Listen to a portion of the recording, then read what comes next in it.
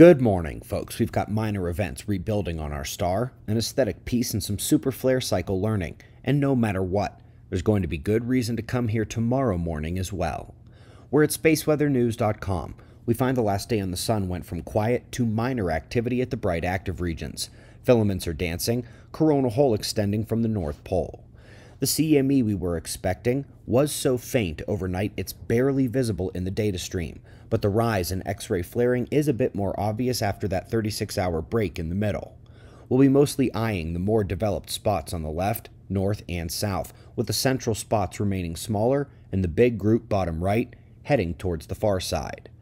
Grab a warm coffee because we're headed to cold regions next with the caribou. Seven major herds in North America, and they've been tracking them. Interestingly, they haven't the first clue what guides their migrations. Literally, not even a good guess, considered one of the greater mysteries of the modern animal kingdom. To get our heads around the top story, we need to first understand that the Gleisberg cycle of about 88 years is actually the Carrington event half harmonic. It can range from 75 years to 100 actually, which is why the Carrington event happens every 150 to 200 years two Gleisberg cycles, and we should expect a major event on those half harmonics as well. Folks, today we get the second possible candidate for that event. The 1940 geomagnetic storm was likely triggered by an X35 solar flare that's creeping into small superflare range.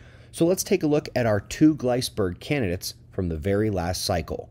After the Carrington event in 1859, it would have been 81 years up to 1940 within the appropriate range, and another 81 years up to now, meaning the next one could be tomorrow or in the next decade and a half. The other option is the 1946 storm. I've always figured that one was a combination of two or three events, but it does have to count as one of the candidates around that time frame. And yes, we do get severe solar storms in between, we always do, but those seem to be more randomly peppered, and none came with a flare at X35. Folks, the next one is the full harmonic back up to Carrington level at least. And of course, from the data, it appears the 1500, 3000, 6000, and even 12,000 year larger versions of that cycle are all due to reset in the next one. We greatly appreciate your support. We've got wind maps and shots of our star to close. Again, I promise there's reason to show up tomorrow, right here, but right now it's 5:30 a.m. in the new Valley of the Sun. Eyes open. No fear. Be safe, everyone.